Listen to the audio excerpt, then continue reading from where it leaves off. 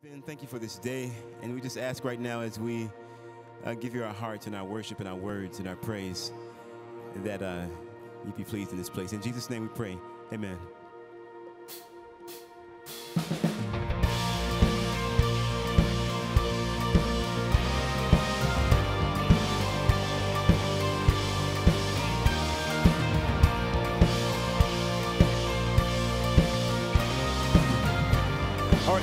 Together. Come, let us worship our King.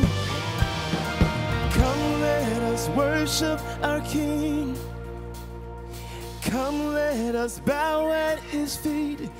He has done great things.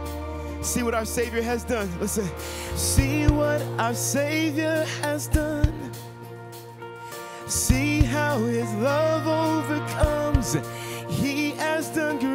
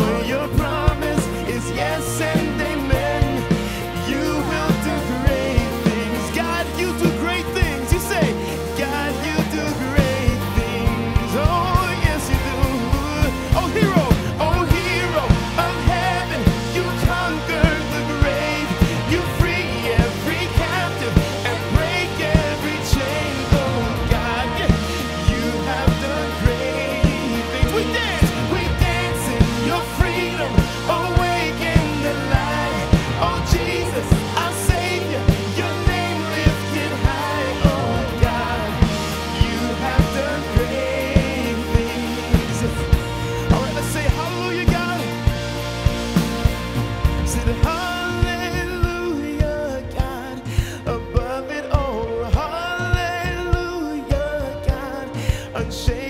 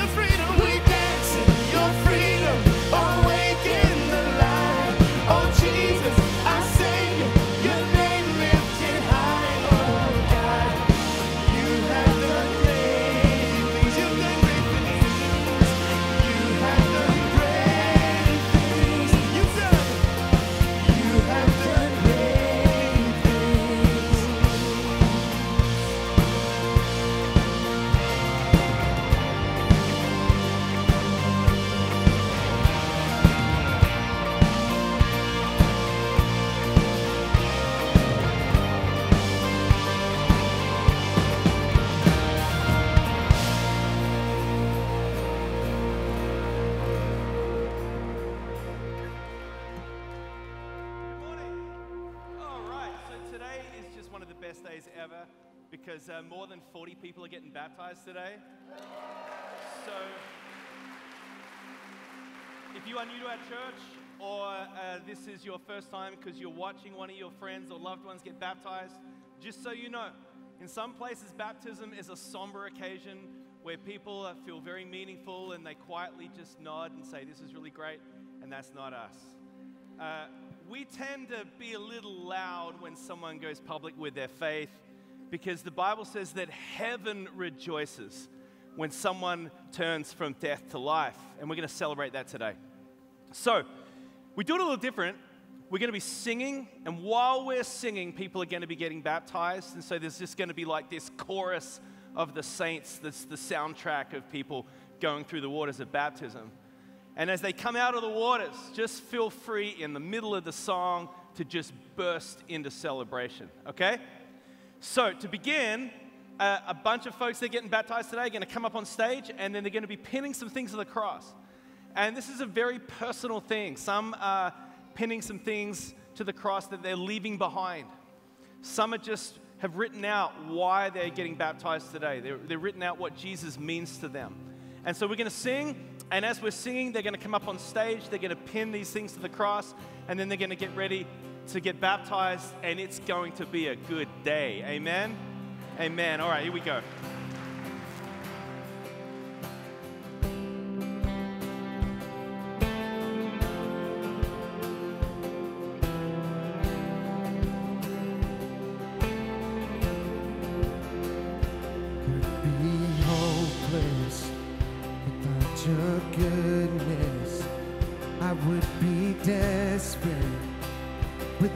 Your love.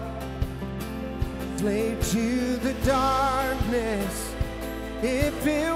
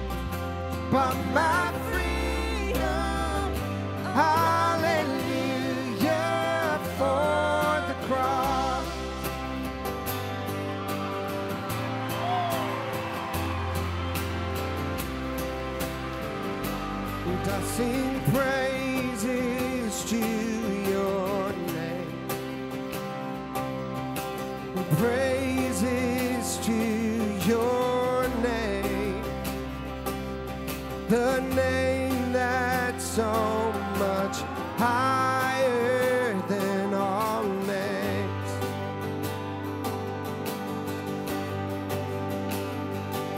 And all honors, and all honor to your name, the name that's so.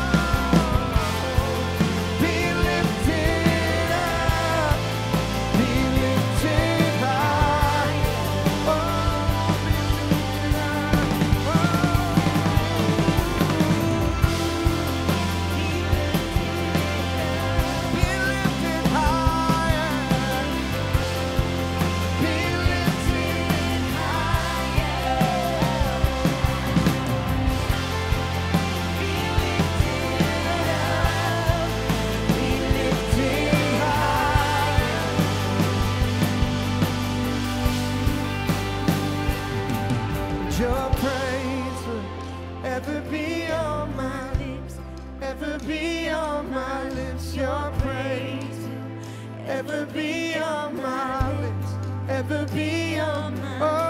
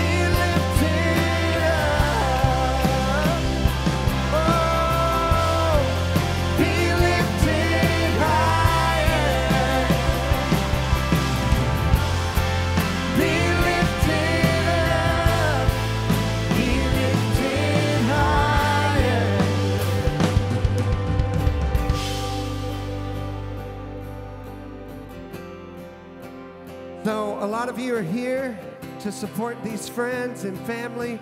And if you are one of those people that's here to support, why don't you come on up on stage and we're going to pray for them.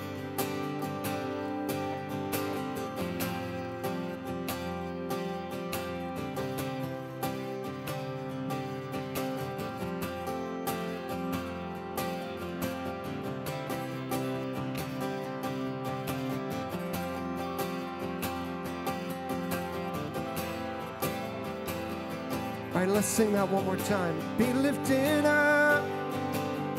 Cry of hearts this morning, Lord.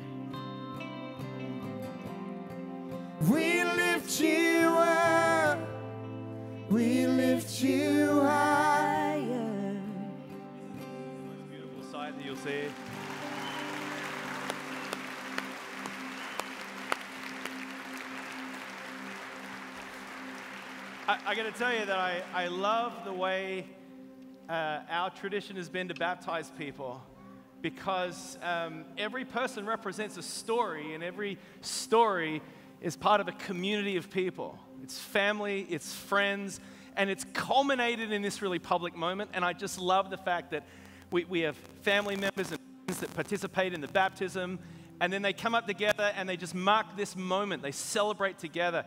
It's just a beautiful thing. And so, right now, we want to pray for you. We want to pray over you. Let's make sure that every single person who got baptized has hands laying on them. And we're going to pray God's blessing upon you on this day, this day that you will never forget.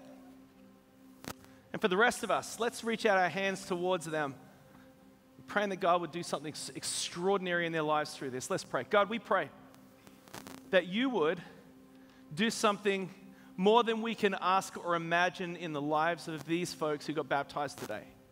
Thank you, God, for the stories that have culminated in this moment, all that is represented in these stories. We pray, God, that you would um, speak over them, as it were. We think of the moment where Jesus was baptized in the scriptures, and a voice came from heaven This is my son, whom I love. In him I'm well pleased. May each son daughter here today. This is my son. This is my daughter, whom I love. And in you, my child, I am well pleased. We pray, God, that this moment may launch them into a new season, a new era, a new chapter in their spiritual walk, in their lives. I pray that today we have celebration. And we pray this in the name of the Father and the Son and the Holy Spirit. And everyone said, Amen. Amen. Let's give it up for these guys.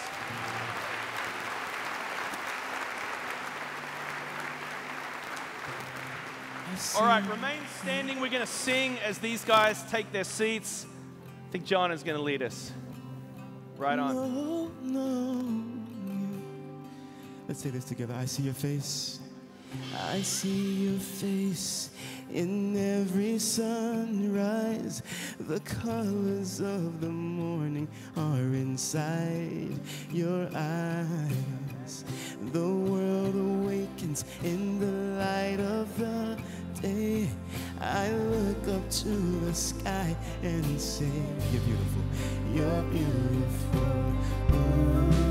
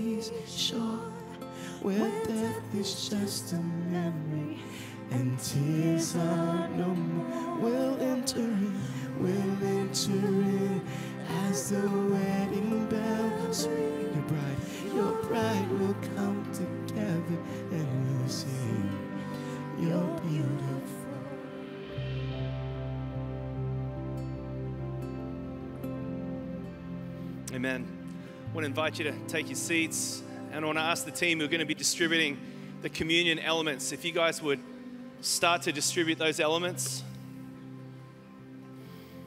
I tell you, I love the practice of communion. I love the sacrament of uh, the Eucharist, the Lord's table. And I love the fact that we do it every week.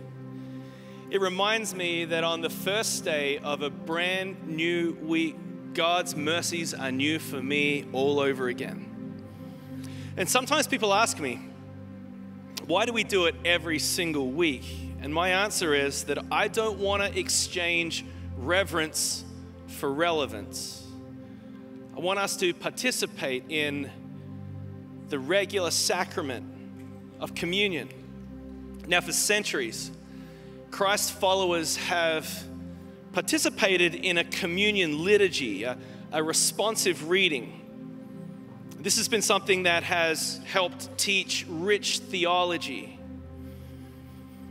And so today I want to I want to share a, a, a, responsive reading, a liturgy that we're all going to participate in together. Where it says, Leader, I'll be reading that bit, I'll read a paragraph, and then together in one voice, in unity, we will respond with a, with a sentence as we affirm what is said. And we're going to walk through some fairly weighty, gospel centered theology as we participate in the Lord's table. So let's begin. God created us in His love to know us and to live with Him. He desired a relationship of intimacy and worship and made us in His image that we might have communion with Him.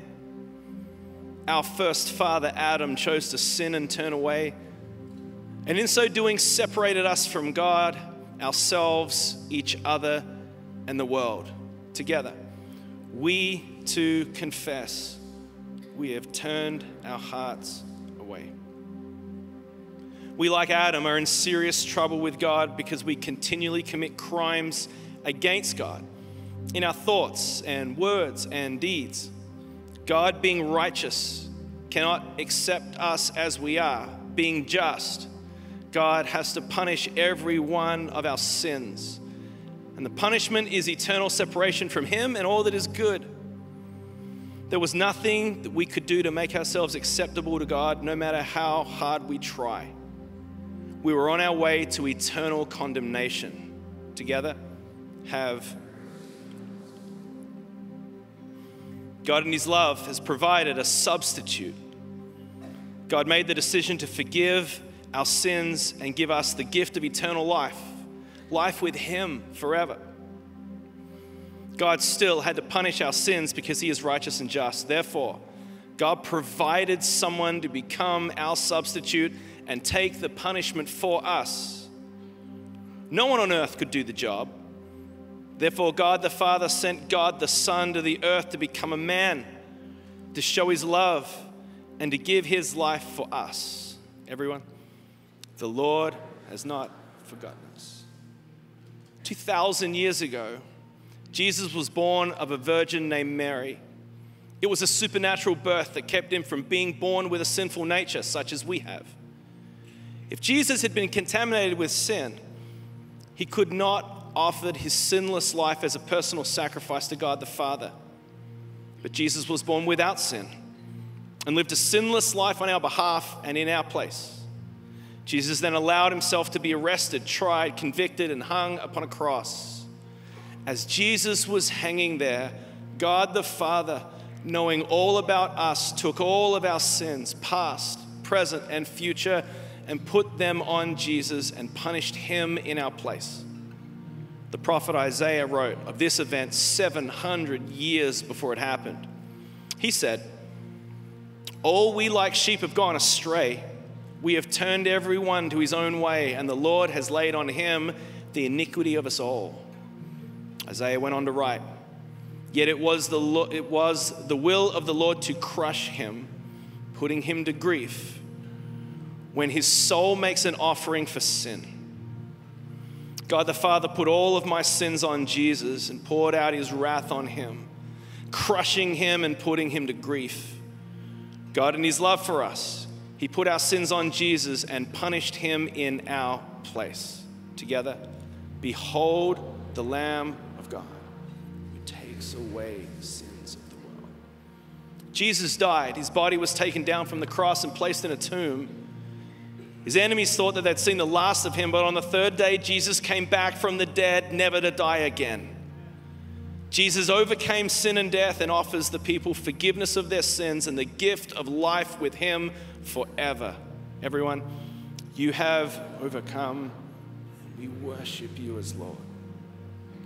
Those who believe the bad news about themselves, who believe they can do nothing to make themselves acceptable to God, and believe the good news of what Jesus did for them on the cross, and trust in Jesus to save them from eternal con- condemnation and save them to a new life lived with and for God, are forgiven their sins and given the gift of life with God that never ends. Together, we thank you, God, for your indescribable gift. Let's stand together.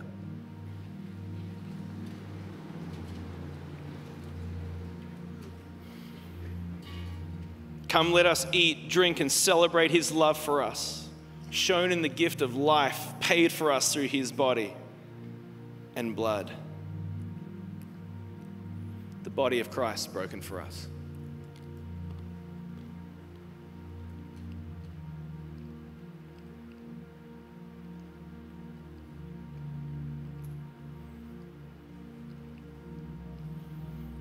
The blood of Christ shed for us.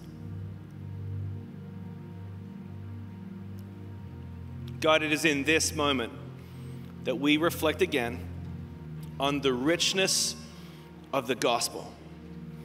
God, we thank you that we can celebrate that we have gone through the work of Jesus, we have gone from death to life, and we begin a brand new week from the posture at the foot of the cross with mercies that are fresh and new, with your grace that has been extended to us in extraordinary measures.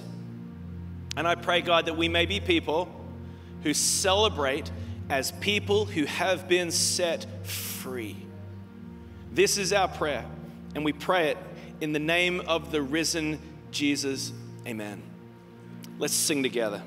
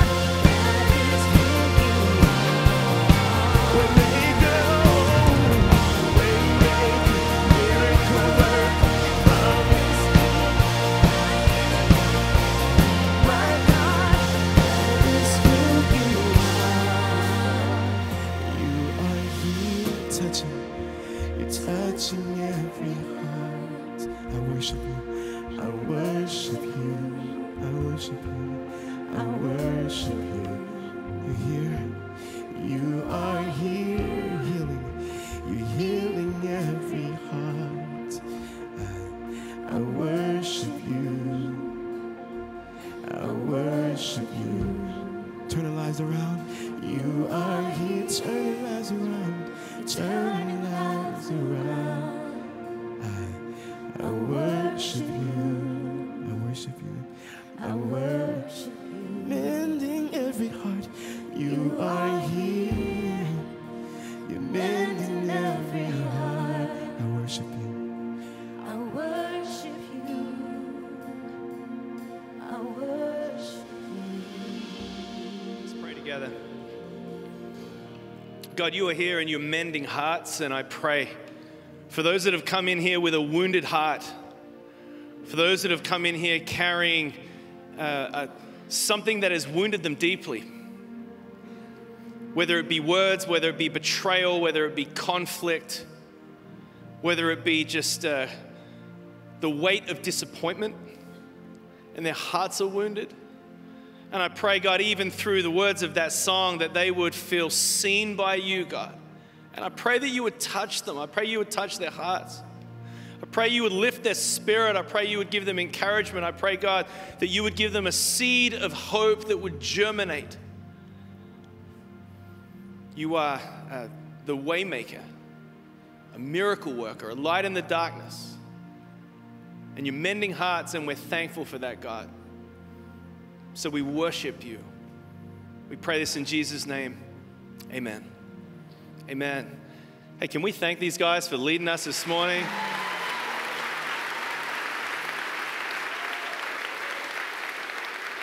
It's been quite a day. Should we just call it and go home now? Why don't you greet one another and you can go ahead and take your seats?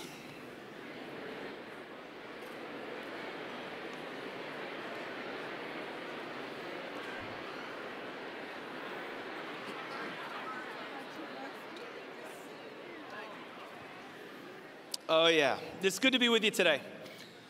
So, uh, if we've not met, my name is Darren Whitehead. I'm one of the pastors here, and we are so glad that you are joining us today to celebrate who Jesus is, celebrate with a bunch of people getting baptized as well. Uh, if the team would come forward and uh, start to uh, receive the offering, I really would appreciate that. I want to thank you for your faithfulness in giving. Uh, we have we have extraordinary generosity in our church, And we are thankful for that. And um, God has been blessing people.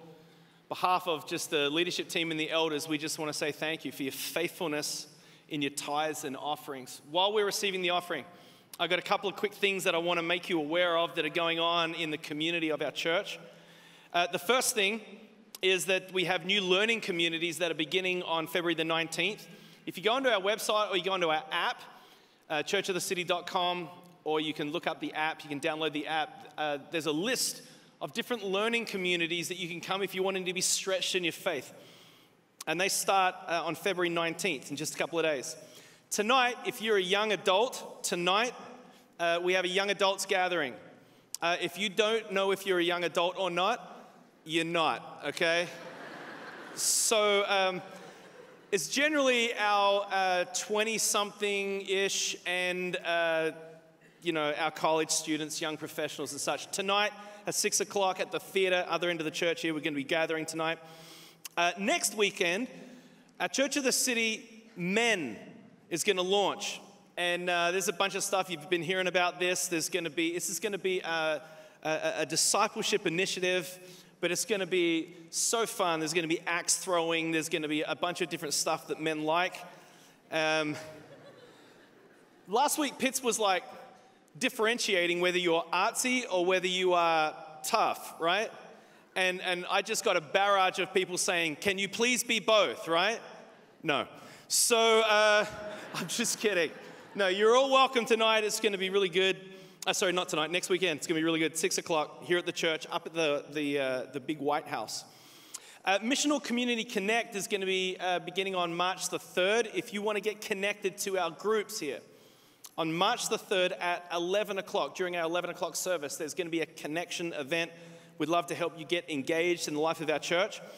And then, uh, lastly, our city students uh, released a, a, an EP this week, a worship EP this week. And I'm telling you, it is so good. It is so good. Um, I was taking my daughter to school, and she's 12. And uh, on the day that it released, and she said, uh, Daddy, have you bought the album on iTunes? And I said, No, sweetie, we can stream it. We don't need to buy it. I'll stream it on Spotify. She said, No, Daddy, you have to buy it so it will chart on iTunes. I'm like, Okay, 12 year old. Turns out it got to number three on iTunes. Isn't that crazy? It's so good. You need to listen to it. Check it out. You can stream it, you can buy it, all the rest of it. All right. Hey, one other thing that's really exciting. We planted our church in East Nashville six years ago, and uh, almost six years ago. And um, today they move into a brand new space because they have outgrown the space that they are in. And they're, yeah. So uh, they're moving to East Nashville High School, which is uh, famous for where Oprah went to school. And uh, they have a new auditorium there that seats about 800 people, and they're going to be able to grow to be able to do a couple of services there. It's an incredible thing. Today's their first day, so we're celebrating with them.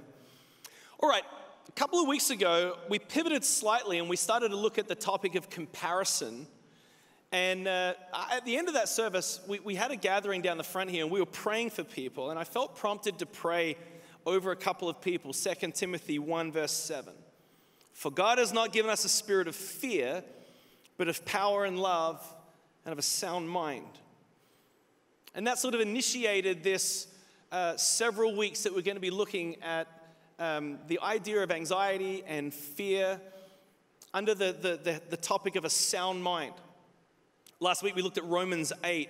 In verse 6, it says, you may remember, it says, The mind governed by the flesh is death, but the mind governed by the spirit is life and peace. Life and peace. Don't you want a mind that is governed by life and peace?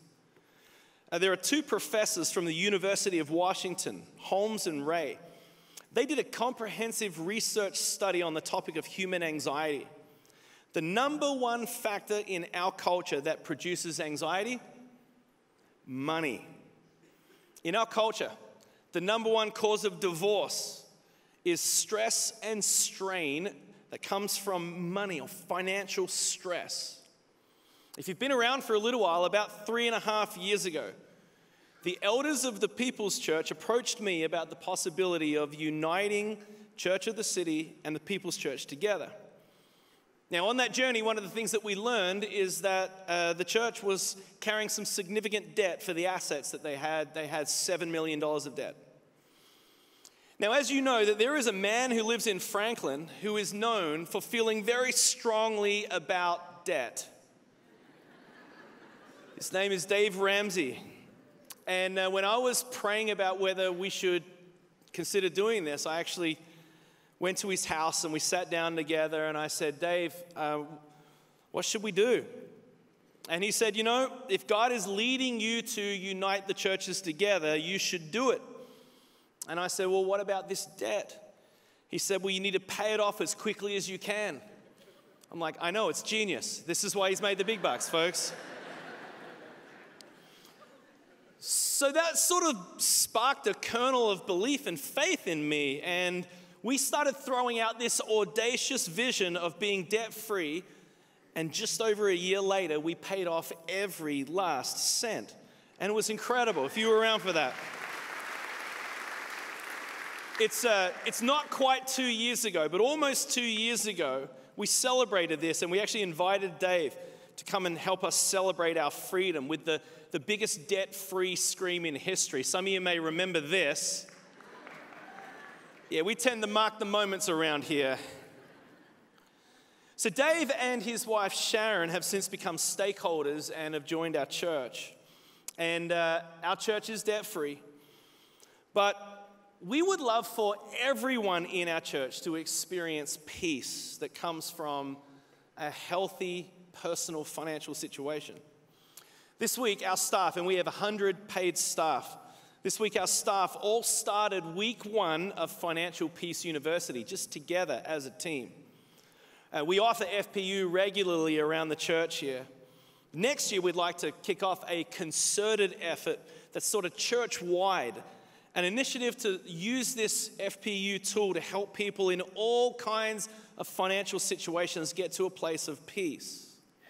Now, because we are uh, Dave and Sharon's home church, they offer all of the FPU materials to us completely for free. They cover all of the costs. Uh, we still charge a reduced amount so that people have some genuine commitment to the, to the process, skin in the game. But in light of the Sound Mind series, today I asked Dave and I asked his daughter Rachel Cruz, who also, together with her husband Winston, are also uh, stakeholders in our church. I asked if they would come and share not only on the topic of financial peace, but also what it looks like to pass that value on to our children, on to the next generation. And so uh, Dave is going to come and speak first, and then he'll introduce his daughter, Rachel. Would you please join with me in welcoming Mr. Dave Ramsey?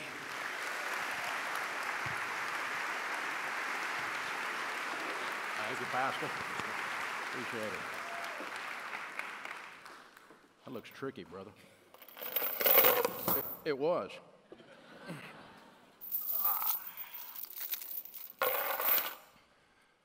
Let's pray. God, we thank you for this incredible day. We've already been in your midst, we've already been in your presence. And God, we just ask you speak through our time together. You know I can do this stuff by myself, but it sure is better when you do it. In Jesus' name. Amen. I've got a friend that I ran into about six or eight months ago. I hadn't seen him in a while, and he had lost 155 pounds. I'm like, dude, you lost a Backstreet Boy. I mean, he was half the man he used to be. It was unbelievable. And have you, you've probably had that happen to you. You've run into someone that you haven't seen in a year or two, and they were transformed. They were changed. Now, if you had met a friend that had lost 155 pounds, you likely would do the exact same thing that I did after I made my Backstreet Boy crack. What did I say? I asked him a question. I said, How did you do that?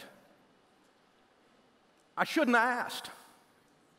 Because for the next 10 minutes, he extolled the fame and deeds of Beachbody. Now, I drink some of those Beachbody shakes, but it turns out you can't eat a bag of chocolate chip cookies with them and it work, okay? Just a theory I have about sort of doing a program, sort of doing a thing. But I got to thinking, you know, what he did there was his witness, his testimony, his transformed life spoke of the fame and deeds. And we've been talking about fame and deeds this year, and then the Holy Spirit gave Darren, I believe, a, a left turn, a subset within that outline. And we look at anxiety and we look at peace, and then move over into sound mind and a, a mind governed. And one fruit of the Spirit, if the fruits of the Spirit is self control, a sound mind. Now, I, Sharon and I got married. I was a hell raising, beer drinking, crazy redneck kid, hillbilly kid. I had no sense at all. She shouldn't have married me. She had no judgment. 37 years later, by the way, I met God two years later and got baptized. And I remember coming out of those waters going, This will never be the same. Will never be the same. And sometimes the Holy Spirit intersects you. Sometimes He intersects me in the middle of the night or at 5 o'clock in the morning. He says, My son, you were a jerk yesterday. You need to go back and clean that up. Sometimes it's that, and sometimes it's the power of Scripture intersecting my life and showing me something new because be not conformed to this world, but be transformed by the renewing of our minds. It turns out that Jesus said it this way We are one of the ways he advertises his fame and deeds.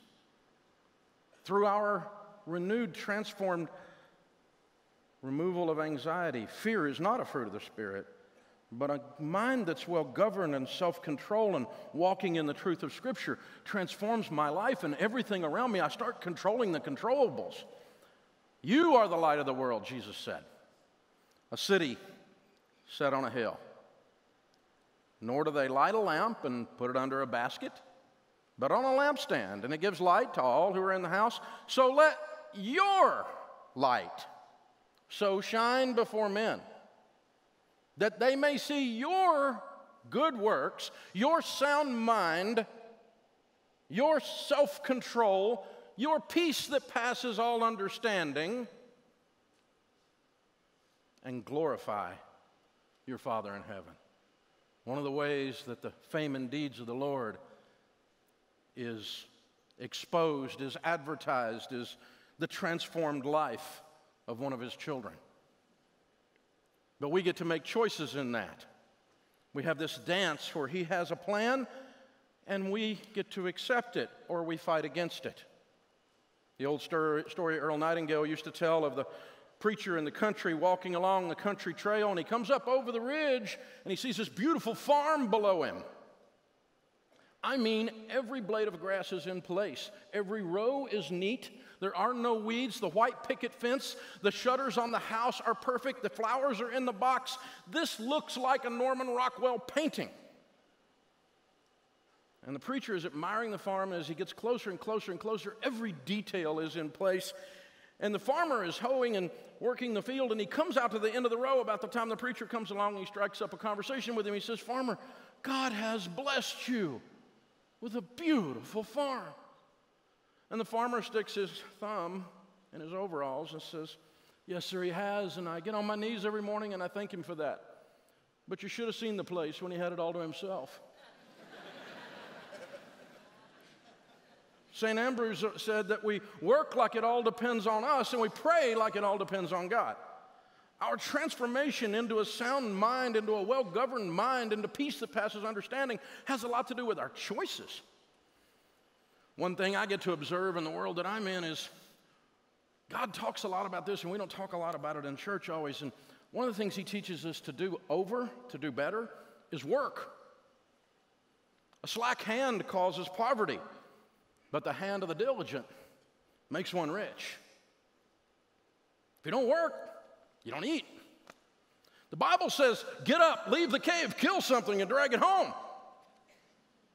Sometimes I hear Christians in my 30 something years of walking with Christians, and I have the gift, gift of cynicism, so sometimes I'm wondering about what's really going on. Sometimes when someone isn't working much and they say they're praying, sometimes that means they're praying. And sometimes that's Christian code for I'm lazy. Get up, leave the cave, kill something, and drag it home. Son, you need to leave your mother's basement. Gaming is not a professional career. You're 38. A tur- uh, an eagle that do- does not leave the nest eventually is called a turkey. This is a problem. Work. If anyone does not work, don't let them eat. While you're at work, if people know that you're a Christian or if they suspect you might be, maybe you ought to work while you're at work. Take it easy. A slack hand brings poverty, but the diligent prosper. My mind should be transformed when it's bathed in the Word of God. My actions and my character should be transformed when it's bathed in the Word of God. Maybe I ought to save money. Why? Because it's in the Bible. In the house of the wise are stores of choice food and oil. Dave, I misbehave and I'm irresponsible, but the Holy Spirit takes care of me. Not for long. He'll bring pain into your life because He doesn't want you to act that way. It's in the parable of the talents. The guy who didn't manage the money well had it taken from him and given to the one who did manage it well. That's not harsh. It's just that when you're given something you can't control because you're not of sound mind, you're not governing your mind, you're not walking in the power of the Holy Spirit to have self control, then you have a problem. That blessing becomes a curse. In the house of the wise are stores of choice food and oil.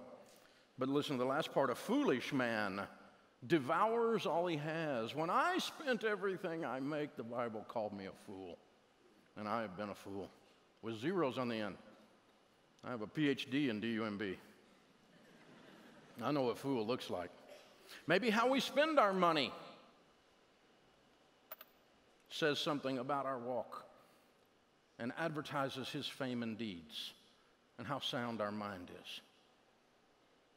I meet people who do crazy things with money. I know y'all can't imagine that. But then their rent is behind and their light bill's behind. And I'm like, but you did that. That's just not a sound mind. That's crazy. You ever seen that? You ever done that? I've done it. I've done stuff and I look back and I go, what was I thinking? Oh, I wasn't. Take care of your own household first, or you're worse than an unbeliever. When we bathe in the scriptures, it transforms us by the renewing of our minds.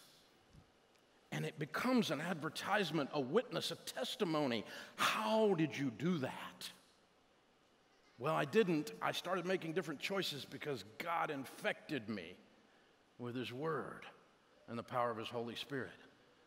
And it changed my life. You can't argue with that. You can argue about doctrine and you can argue about theology, but you can't really argue with a changed life.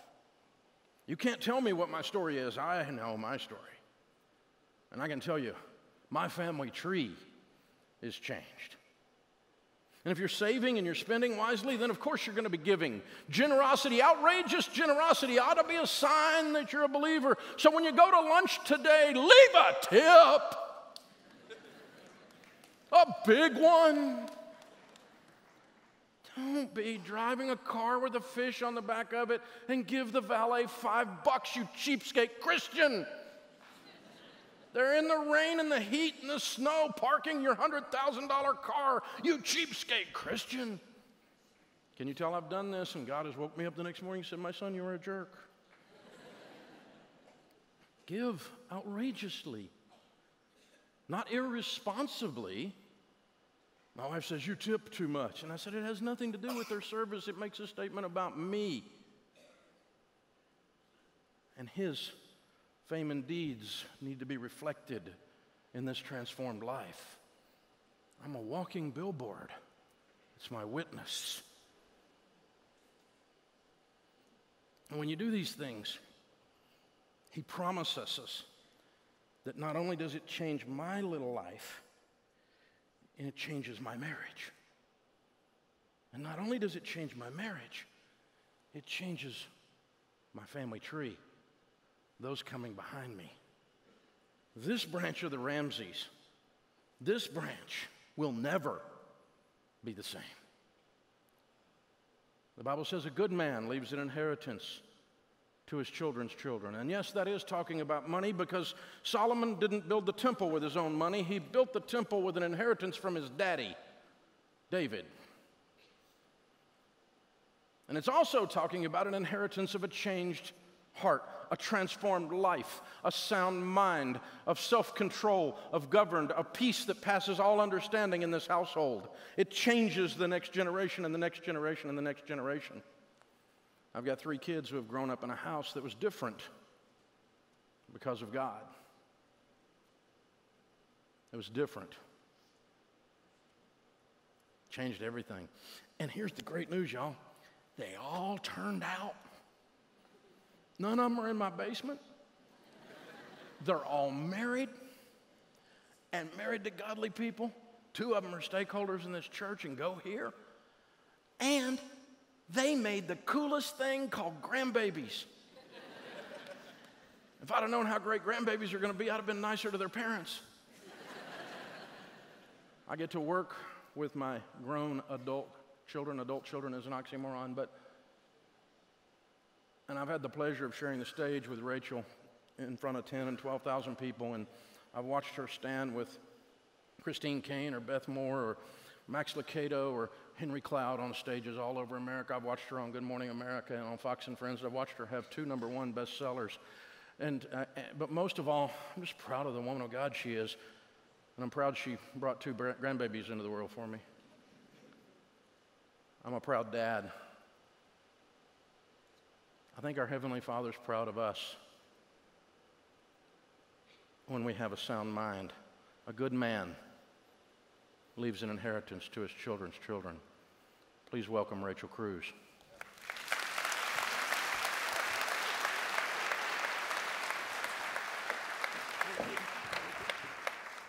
Well, when Darren emailed us about tag teaming the stage, I knew he was like, Well, I'll take the tactical parts, Rachel. You can take some spiritual character qualities. I was like, Okay. so as I was praying through this, I thought, you know, it is so crucial to have these tactical principles that he just talked about, right? Working, giving, saving, spending, teaching it to your kids, because that was my story. And I feel like a lot of people, though, assume growing up as Dave Ramsey's kid that we were like obsessed with money. And like all we talked about was money. And we had mutual fund birthday parties and like budget camps every summer where thankfully that was not the case, but they did instill God's ways of handling money. And while that is so crucial, there is this essence of overlaying a spiritual char- of spiritual character qualities as well. Because winning with money, your financial success is determined by your spiritual success as well. And so there's three character qualities that kept coming to mind that are kind of a progression, and it's gratitude, humility, and contentment. And when we look at gratitude, and I flip through the scriptures, I see that God celebrates people who are grateful. When you are grateful, incredible things start to play out in your life. Psalm 9:1 says, "I will give thanks to the Lord with all my heart, and I will tell of your wonderful deeds." You'll see in Luke that when Jesus healed the 10 lepers, only one came back and said, Thank you. And Jesus looked at that man and he said, Your faith has made you well. In the Old Testament, Hannah, she gave thanks when she became pregnant with Samuel. Jesus thanked God when Lazarus was healed. It's all through there. But as I sit here in 2019, I can honestly say, you know, sometimes it's hard to be grateful. You know, it's, it's easy to be grateful for all the big things, yes. But the day in and day out, sometimes it's hard. And why is that? Because we see what everyone else is doing and what everyone else has and what we are lacking. And Darren touched on this a few weeks ago, a few weekends ago. on comparison. It was so great. If you didn't listen to it, it was two weeks ago. Go listen because this comparison battle is so real, you guys.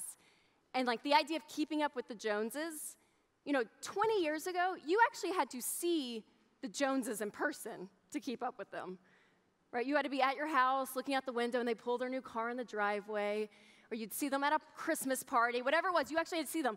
Now we carry them around in our back pockets on our phones because of social media. And, and I wrote a book on this, like the comparison thing I've, I've studied, but man, I'll be honest, I am still guilty of it. Like you'll be flipping through Facebook and you see your friends and they've just remodeled their kitchen, and you're like, oh, they have new granite countertops, beautiful light fixtures. It's like Joanna Gaines just walked in and like waved her wand, right? You're like, oh, shiplap in a kitchen? Sure, it's beautiful. And then what? You look at yours and you're like, man, it's just looking old. Or Christmas time is always my favorite. People, you know, post what they got. I saw this one girl on Instagram and she was like, oh, always wanted a Mercedes. I was like, oh, because we all know the truth of it is, is that you're not seeing the whole picture, are you?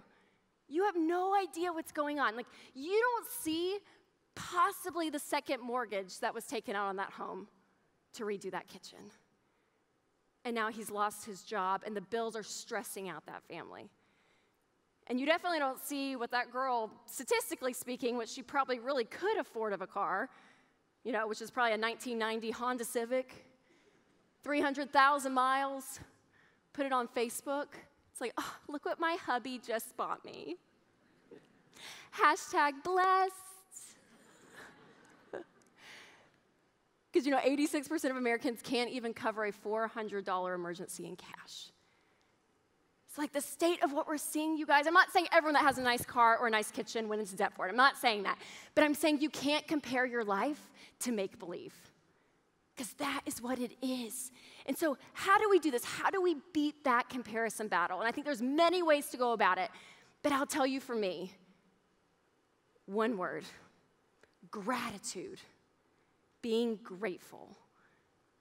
Because I'm telling you, gratitude is an amazing thing because comparison, the opposite, will not just steal your joy, but it'll steal your paycheck. Because you will end up spending money, and sometimes money you don't have, to keep up a lifestyle that you think everyone else is living, and you're the only one missing out. But a heart that is full of gratitude of what God has given you, there is no room for comparisons or discontentment. When you are grateful. A few years ago, I started this list on my phone, and every day I type down just two things that I'm grateful for. And it can be small things, big things. I just started this habit. And now it's amazing to me when I have this moment of comparison, I go straight to that list. I do on my phone. And now I can tell you, scrolling through the blessings of what God has given me is so much more fulfilling than scrolling through other people's lives. And let me tell you, as a believer, not only has He given you these blessings, but I believe He has entrusted these things to you.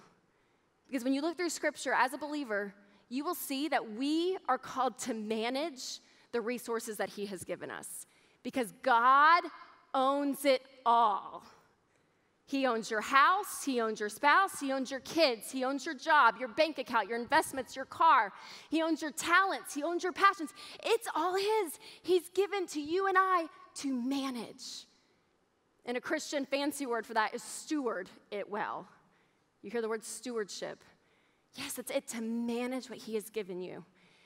And if you are a parent in here, I beg you beg you to start teaching you, your kids these things. Not only that perspective that we are managing what He has entrusted to us, but also of just gratitude, just being grateful.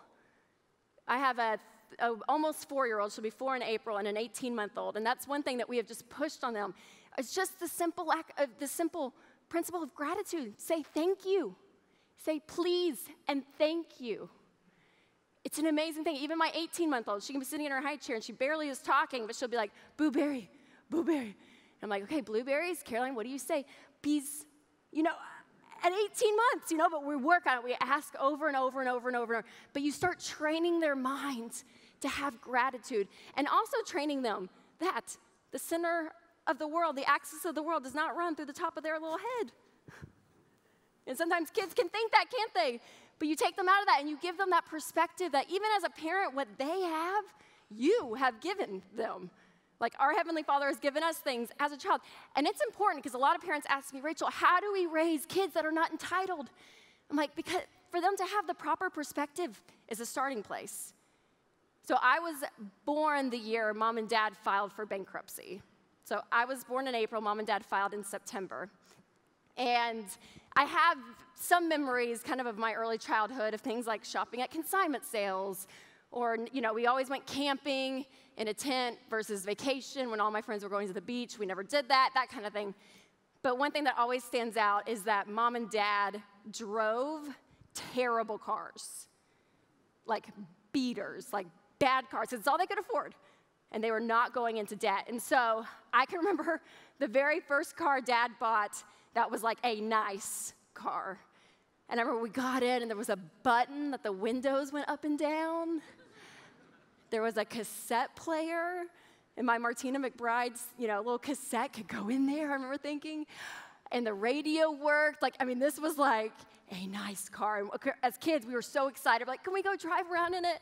And at the time, my little brother was probably four or five years old, and he was in the back seat, and he leaned back and he goes, Dad, we are doing pretty good. And I'll never forget, Dad turned around to all three of us in the back and he just smiled and he said, No, I'm doing pretty good. you guys got nothing.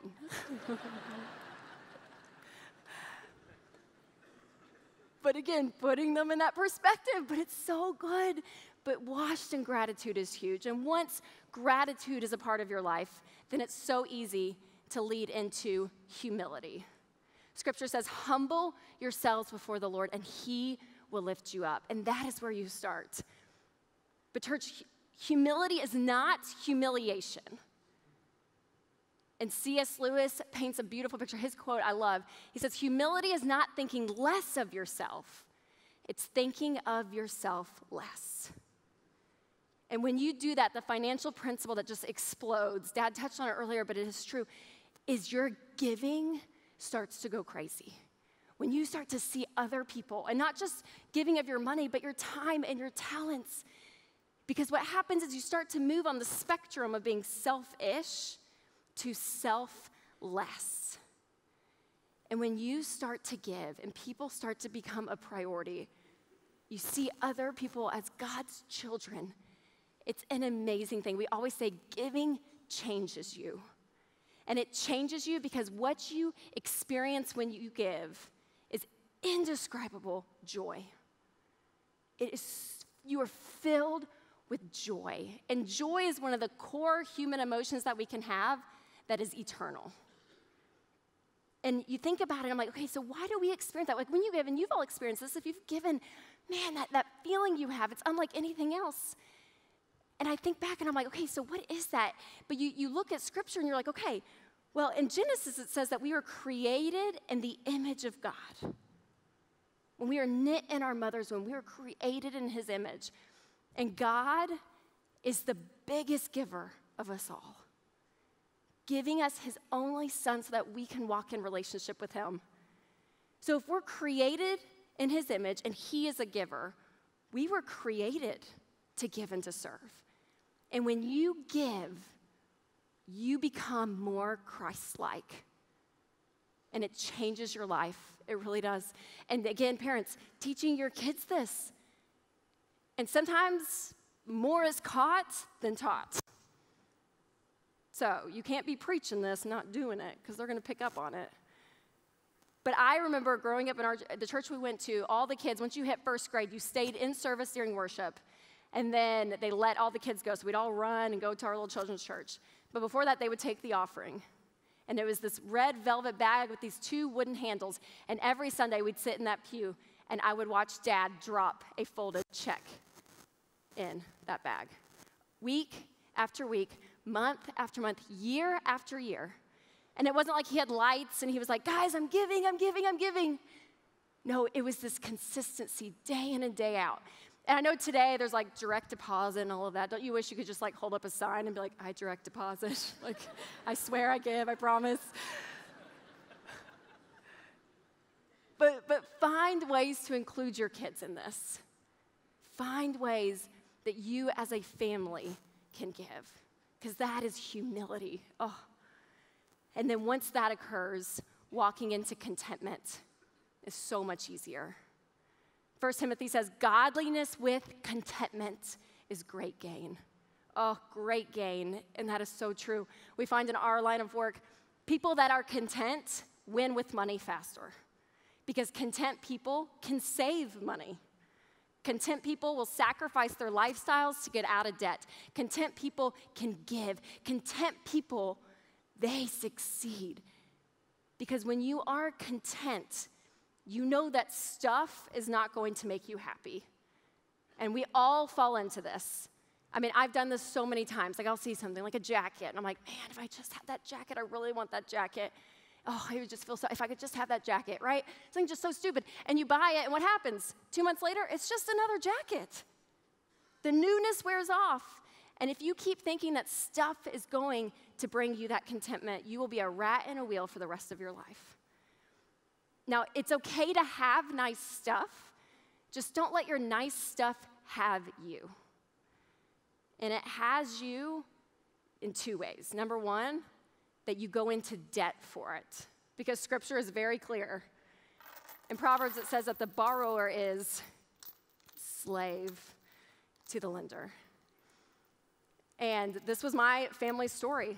And mom and dad, because of this and the choices that they made, hit, hit rock, bottom and filed for bankruptcy. But I can tell you, when Dave and Sharon Ramsey said, no more, we're not letting stuff define us. We're not letting the world teach us how money works. We are going to scripture. And because of that, they drew a line in the sand and they said, enough is enough. We're done. And because of that decision, my life, my legacy has been changed forever. So your stuff can have you by it owning you, and you're in debt from it. But it also can own you when you think your identity and your contentment is wrapped in that. Because your contentment has to come it has to come from the Lord. And it's when your heart is at peace and you can confidently stand in what God has given you and trusted in you and allowed you to do in this life. And you can just say thank you, which circles back to gratitude. And so the, pr- the principles that Dad touched on work, give, save, spend earlier so good, so tactical, so true.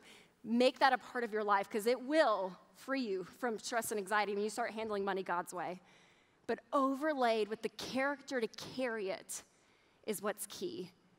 And that will not only change your family tree, but everyone that's around you. And those of you that don't have kids in the room, like your family, your friends, your community, people that are near you, they're gonna see that. You will leave a legacy. And you get to decide what legacy it is. Growing up, mom and dad used this parenting analogy of a rope. So the idea of the rope is that we were tied to one end of the rope and they had the other end. So, depending upon how well we made decisions in life, how trustworthy we were, then they would let this rope out, and we were free to make more and more of our own decisions. But if we made a bad decision, they would pull the rope back in. So I can remember being, gosh, I think it was middle school, and Thoroughbred Theater had just opened up. Uh, if you've been here long enough, you remember it was down by Stony River, like the old theater. Thoroughbred Theater opened up, and it was just like the biggest deal ever. And all my friends were like, we have to go see a movie, we have to go see a movie. And so mom and dad dropped me off at the movies with some of my friends, and we decided five minutes later not to go see the movie and to walk across that parking lot to the McDonald's and just get ice cream instead. Well, of course, mom came to pick me up, and I was not there. I wasn't at the movies. She couldn't find me. It was like this whole ordeal. So we had a family meeting about it that night. AKA, Rachel's in trouble again. and I remember they told me, they said, Rachel, if you had picked up the payphone, because there weren't cell phones back then, if you had picked up the payphone and you had called us, we, we probably would have let you go to McDonald's and get ice cream. But you didn't. You made a different decision and you did not communicate that to us. So now, next time we drop you off at the movies, we can't trust that you're going to be there, so we're going to pull the rope back in. Now, if you've had a 14 year old daughter in your house recently, you know there's like two people that live inside of her a, a four year old and a 44 year old. And dad would always say that. He's like, Am I talking to the four year old or the 44 year old? I was like, You guys are just so unbelievable. He's like, All right, four year old. I gotcha, I gotcha. I was so mad. I was so mad. Now, fast forward about a year, I was at a high school party and some adult beverages were being passed around. And I remember thinking, if I get caught at this party, my life is over forever. And so I went in the back bedroom, I called my mom, I was like, hey, will you just come pick me up? I got in the car and she was like, Rachel, really great decision. You made the right choice. Lots of rope, Rachel, lots of rope. Great job. So this rope conversation it was just constant in our house. And when my older sister Denise was graduating high school and going off to college, it was a big deal. And if you've had your first one leave home, you know, it, it is. It's a big deal. And so that night before college, we ate in the dining room, and my mom made this huge meal, and we ate off the fancy plates that you only eat off for Thanksgiving and Christmas. And we all went around the table and we told stories about Denise. You know, we were laughing and crying. It's like she was dying or something, but she wasn't. Just moving two and a half hours away. And towards the, towards the end of the dinner, dad pulled out this gift bag and he pulled this out of it a rope. And he said, Denise, tomorrow you leave for school. And your day to day decisions now, they're up to you. Because our rope does not reach from Nashville to Knoxville. And so he tied these different ribbons around the rope, symbolizing different areas of her life. And so white was for her purity, purple was for her spiritual walk, orange was because she was going to the University of Tennessee. Go Vols. Back when football was actually decent, but that's another story for another Sunday. Uh, red was her academics, and yellow was if she ever needed to come home. And he said, Denise, this is your entry into adulthood. You're now an adult. And he handed her the rope. And we have all just cried. I'm like, oh my gosh, Denise has the whole rope, like the whole thing. She's never coming back. Like, it's done. Now, I'm the, chi- I'm the middle child of the Ramsey family, so the neglected and abused child. And the night before I went to college, we had pizza mhm, on paper plates. Yeah. And I was going to bed that night, and dad just yelled through the house. He was like, Oh, Rachel, you need a rope, don't you? Went to the garage. Gave me this. Yep. I'll, I'll let you decide which child is their favorite, but I think we know. But I, I look at this rope as, as kind of my legacy of parents who were not perfect, but they were intentional with us. And I'm telling you, I'm so thankful that I was past this legacy versus this legacy. In Deuteronomy, it says, I call heaven and earth as witness today against you, that I have set before you life and death, blessing and cursing. So choose life that you and your descendants may live. All right, everyone, let's stand, and Darren is going to close us in prayer. Thank you. Thanks, Darren.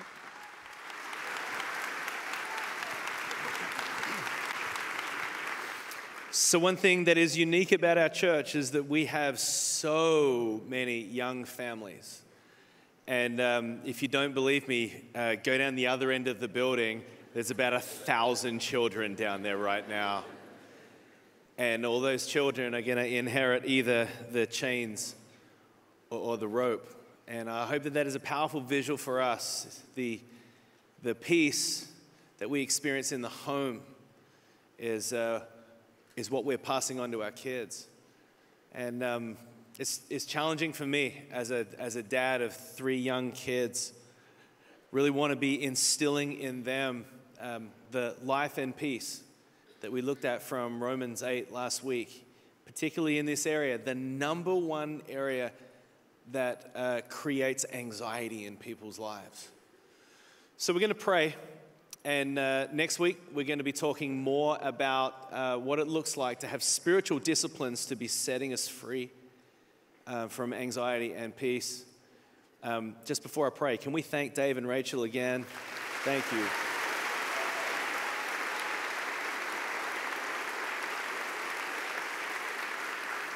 Let's pray. So, God, we're praying that we would be people who experience life and peace, a sound mind, of, of self discipline, of self control. And for those of us who are raising children, I pray, God, that this would be impressed upon us. That the, the decisions we make today are not just going to be impacting us, but they're going to be impacting our legacy, our children, what we are pouring into the next generation. And I pray, God, as we have seen a miracle in our church of being set free from debt and experiencing financial peace, I pray, God, that that would be true, that we would see a miracle in the lives of our people as well. That we would just see people being set free and passing on a legacy to their children that is of life and peace. This is our prayer. And we pray this in the name of Jesus. And everyone said, Amen. Grace and peace, everyone.